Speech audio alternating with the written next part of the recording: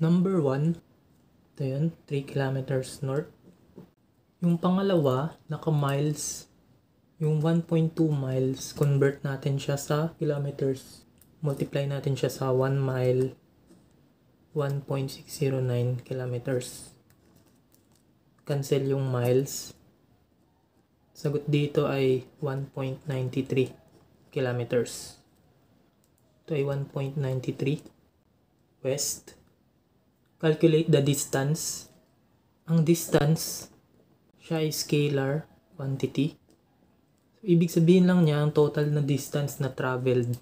Ito ay 3 kilometers plus yung 1.93 kilometers.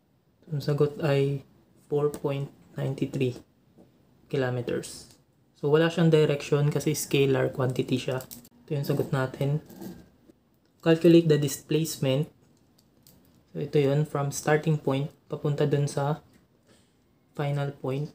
Sabihin natin ito yung R. May mapo-form kang right triangle dyan. So, magiging R squared is equal to 1.93 squared plus 3 squared square root. Ang R natin ay by calculator 3.57 kilometers. Ang displacement siya ay vector quantity. So meron siyang magnitude and direction. Ito ay magnitude lang. Kunin natin yung direction niya. So with respect dun sa initial position niya. So yung angle na mabubuo.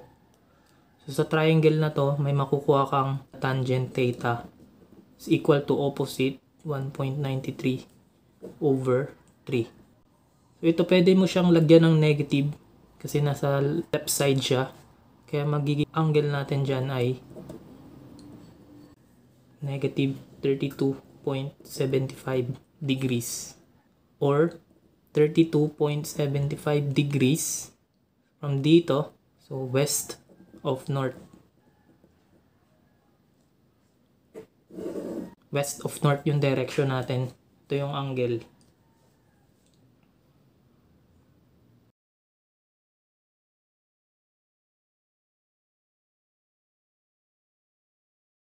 Sa number 2, ang 1 mile ay equal siya sa 5,280 feet. Pwedeng ang sagot natin ay naka-mile, pwede rin naka-feet.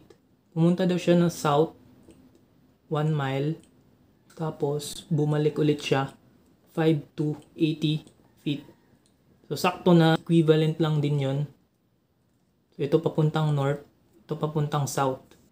Ang distance nila 1 mile plus 1 mile is equal to 2 miles. Yun yung distance. Or 5 to 80 times 2 feet. Kasi 2 miles kasi siya eh. Or 10,560 feet. Yun yung distance natin. Ang displacement from initial point papuntang final point. So, unang travel niya dito tapos bumalik ulit siya. Ibig sabihin, bumalik siya sa umpisa. So displacement is equal to 1 mile south. Ito ay south. Pag. Plus 1 mile north. So i-assume natin north ay positive. So ito ay magiging negative kasi south na siya. Sabihin ang displacement niya ay 0. Yun yung pinagkaiba nila. Vector to. Ito ay scalar. Yung distance.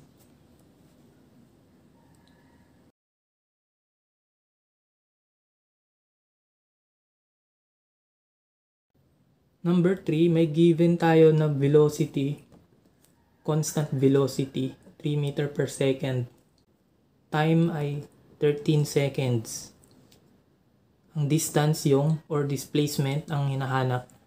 May formula tayo na velocity is equal to displacement over time. Or formula transform natin, so displacement is equal to velocity times time. So displacement ay 3 meter per second times 13 seconds. Displacement ay 39 meters.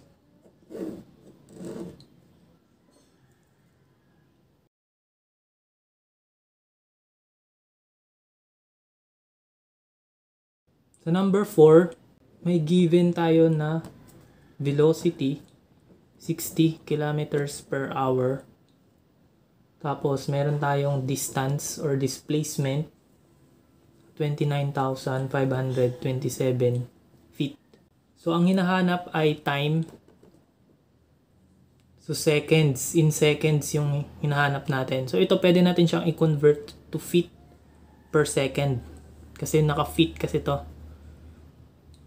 giging 1 hour over 60 minutes times 1 minute 60 seconds. Tapos multiply mo pa siya ng 1 kilometer 1,000 meters. Tapos ang 1 meter ay 3.28 feet. Cancel yung meters, cancel yung kilometer, cancel yung hour, minutes, matitira ay feet tsaka seconds. So dito ang velocity niya in feet per second ay 54.67 feet per second. Ito na yung velocity natin. So from equation na velocity is equal to displacement over time, cross multiply over v So, ang time natin ay displacement over velocity. is equal to 29,527 feet over 54.67 feet per second. Cancel yung feet. Seconds na lang ang natitira. Sagot ay 540 seconds.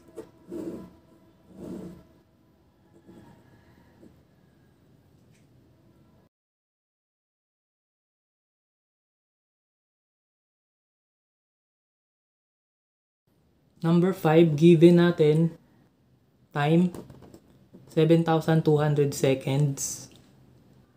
Displacement or yung distance 100 kilometers. Hinahanap ay velocity or speed. So in kilometers per hour, naka-kilometers na siya. Ito convert natin siya in hour. So 1 hour is equal to 3,600 seconds. Cancel yung seconds. Sagot ay 2 hours to. From equation, speed is equal to distance over time. 100 kilometers divided by 2 hours. Sagot ay 50 kilometer per hour.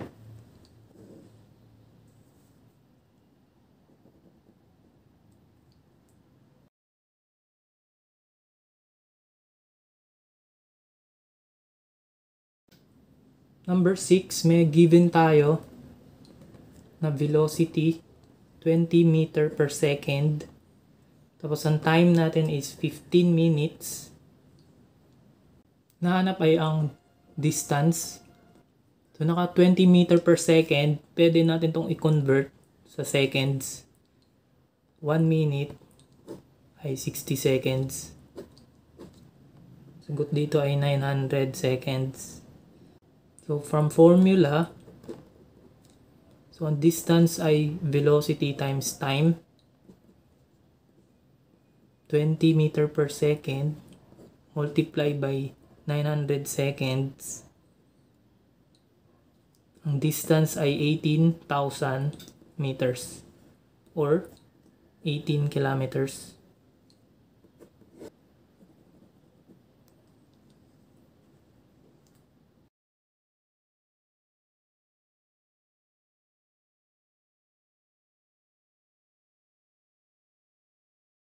Number 7, given, sa sketch natin, ito yung town A, siya yung initial point. Punta dito sa town B, siya yung final point. Ang velocity ni A is equal to 12 meter per second. Ang velocity ni B is equal to 30 meter per second. So yung velocity niya dito sa point na to, ito pwedeng VI, ito pwedeng V final. May equation tayo na distance is equal to VI plus VF over 2 multiplied by time. X is equal to 12 plus 30 over 2. So multiply natin sa time. Ang time natin ay 1 hour or 3,600 seconds. So 3,600 seconds.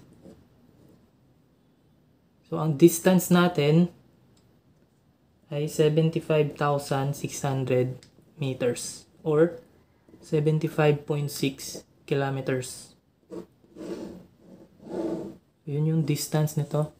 So, maganda tong equation na to kapag given ay dalawang velocity lang tsaka time.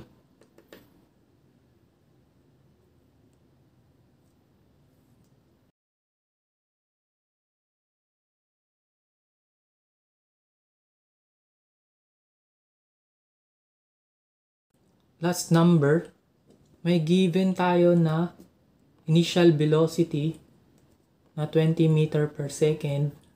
Tapos, ang final velocity natin since nag-decelerating siya, pabagal ng pabagal hanggang sa pa-stop na siya. So, zero to. Ang distance natin ay 4 meters. Yan. Time ang hinahanap.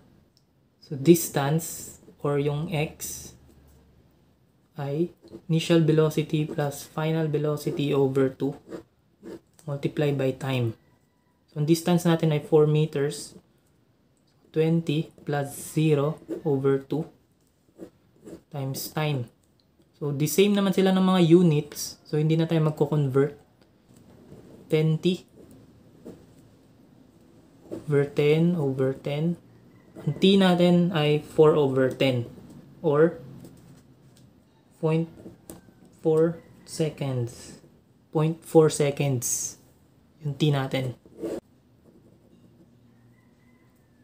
So ito useful siya na equation kapag ang given ay final velocity, initial velocity, distance or time.